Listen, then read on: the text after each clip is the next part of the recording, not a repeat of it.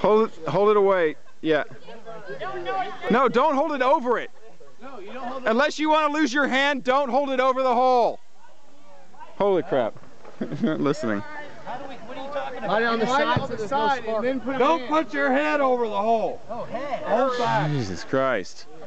Think about it. It could go off in half an instant. Dad, your hand. Move it. Could take a while. That was a short fuse, I thought.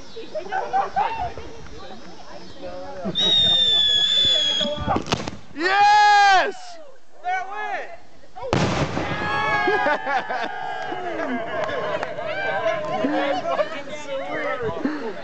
uh, Beautiful. Oh, yeah. So good looking.